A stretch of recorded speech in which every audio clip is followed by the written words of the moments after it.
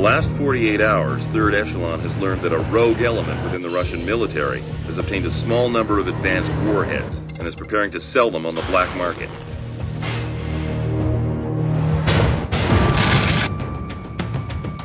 Clean up trash for the Ruskies now. You're not cleaning up trash for the Ruskies. You're helping us maintain regional stability.